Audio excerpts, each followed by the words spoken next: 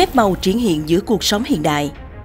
Khai quật mộ thánh Cha Pio, thi hài sau 54 năm, không hề mục nát mà còn tỏa hương thơm từ năm dấu thánh. Bí ẩn sau bức tượng Phật nổi tiếng Taliban phá hủy. Phỉ bán thần Phật dẫn đến họa diệt vong 9 tháng sau khi phá hủy hai pho tượng, từ chỗ là lực lượng hùng mạnh kiểm soát 90% lãnh thổ Afghanistan. Chỉ trong vòng một tháng, chính quyền Taliban đã bị diệt vong bởi liên minh do Mỹ đứng đầu trong cuộc chiến chống khủng bố toàn cầu. An Nhiên kính chào quý khán thính giả của TCT. Trong chương trình hôm nay, chúng ta sẽ cùng nhau khám phá những thần tích có thực đã và đang triển hiện trong đời sống hiện đại ngày nay. Kính mời quý vị cùng theo dõi.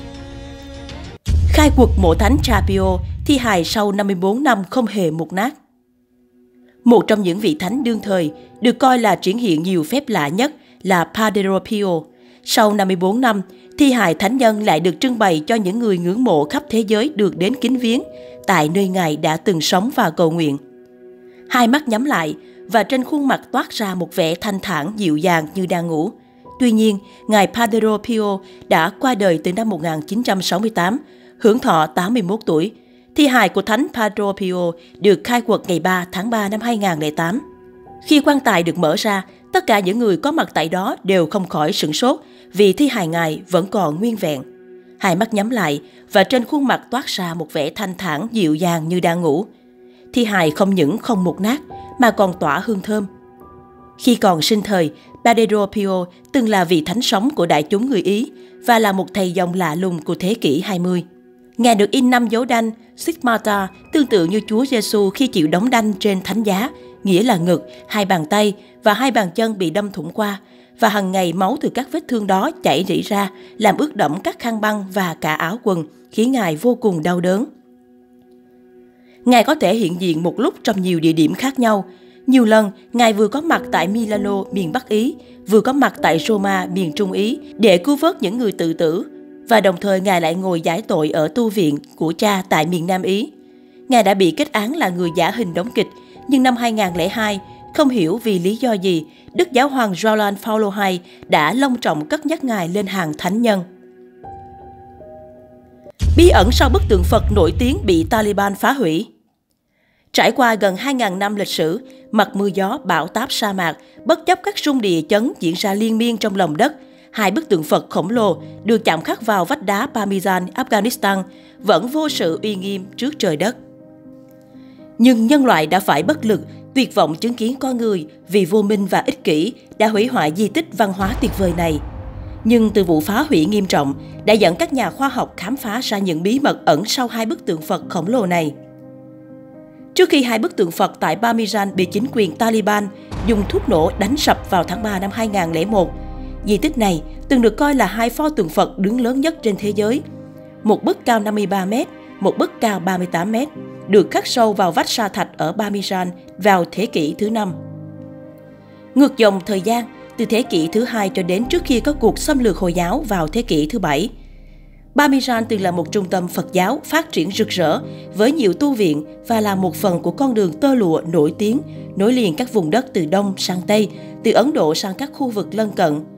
Là nơi giao thoa giữa các nền văn hóa Ấn Độ, Trung Quốc, Trung Á cho đến La Mã.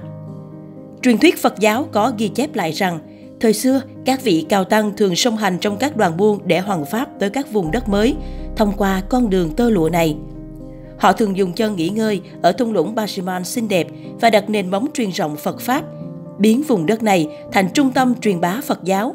Hai bức tượng Phật cao nhất thế giới được cho là hình thành vào khoảng năm 554. Hàng năm, các nhà sư tổ chức lễ kỷ niệm và khá nhiều Phật tử hành hương tới chốn linh thiêng này để chiêm ngưỡng tượng Phật. Hàng đoàn người hành hương cùng các nhà sư sống trong các hang động ở gần đó, thường ngày quỳ gối dưới chân tượng Phật để kính lễ. Đến thế kỷ thứ bảy, khi Hồi giáo tràn vào Afghanistan, đạo Phật dần mai một và các vị cao tăng cũng từ từ rời bỏ Parmesan. Trải theo sự khắc nghiệt của lịch sử, rất nhiều di tích chùa chiền, phù điêu, đồ tạo tác của nhà Phật đã bị hủy hoại hoặc thất lạc. Hai tượng Phật được chạm vào vách núi nên còn trường tồn với thời gian. Những bức ảnh chụp hai bức tượng được lưu giữ trước khi bị Taliban hủy hoại.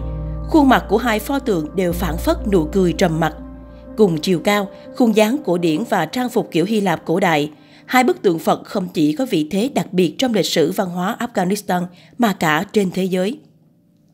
Hủy hoại tượng Phật dẫn đến diệt vong với mối phức tạp của khu vực địa chính trị, Afghanistan trở thành nơi nồi da sáo thịt của các tranh chấp sắc tộc, đã dẫn đến năm 1999, Taliban chiếm được quyền kiểm soát khu vực. Nhiều người lo ngại hai bức tượng Phật sẽ trở thành chướng ngại thủ địch trong con mắt của phiến quân Hồi giáo Taliban.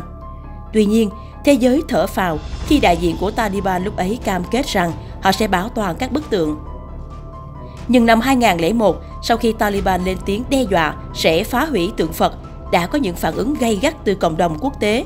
Đại hội đồng Liên Hợp Quốc do Đức khởi xướng đã họp khẩn cấp, ra thông cáo lên án hành vi đe dọa phá hoại này.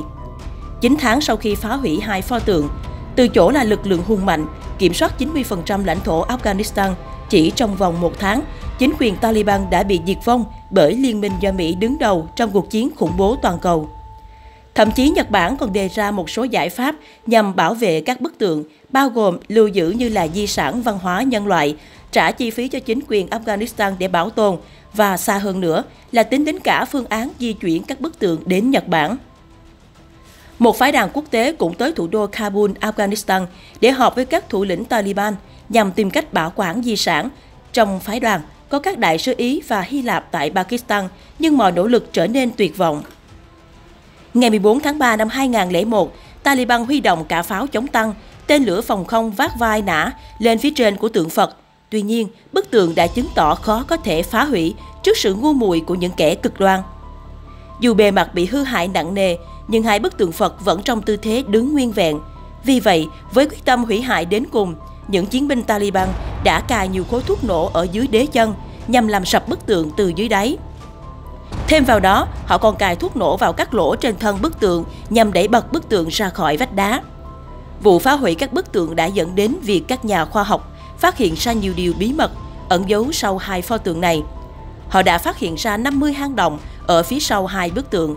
Các hang động này được cho là nơi ẩn cư của các tu sĩ thời xưa. Trong các hang động, các nhà khoa học đã có một số khám phá quan trọng.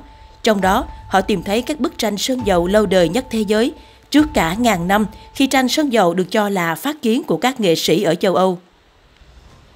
Một phát hiện quan trọng khác được tìm thấy trong hang động là một bản kinh Phật gốc tiếng Phạn. Sutra, đây là một văn tự cổ về kinh Phật được in trên vỏ cây bạch dương.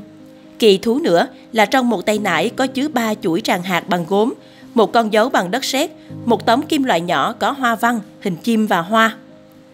Ngoài ra, các nhà khảo cổ đã tìm hiểu được cách người xưa kỳ công chạm các bức tượng Bước đầu, các công nhân đã chạm sơ bộ hai pho tượng Phật vào vách đá. Sau đó, những người thợ đã phủ một lớp hỗn hợp được làm từ bùn, rơm và lông đuôi ngựa, đắp thành trang phục rồi tô màu.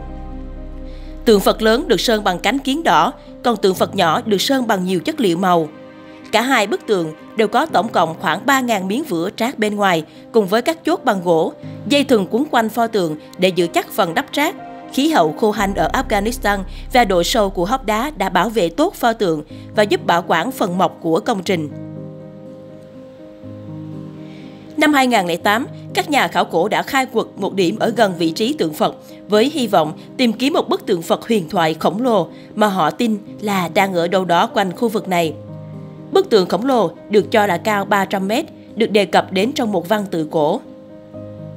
Dẫu hai pho tượng Phật cổ và lớn nhất thế giới ở Parmesan đã bị súng đạn phá hủy, nhưng hiện nay một số quốc gia và các tổ chức trên thế giới đã cam kết tái dựng lại kiệt tác nhân loại này. Công việc khôi phục được dự định bằng cách sử dụng các yếu tố của người xưa kết hợp với các vật liệu công nghệ hiện đại. Đến đây cũng đã khép lại chương trình ngày hôm nay. Và như mọi khi, nếu thấy video này ý nghĩa, quý vị và các bạn hãy để lại bình luận cũng như đăng ký kênh để nhận được video mới nhất nhé. Cảm ơn quý vị và các bạn đã quan tâm theo dõi. Còn bây giờ, An Nhiên xin kính chào và hẹn gặp lại.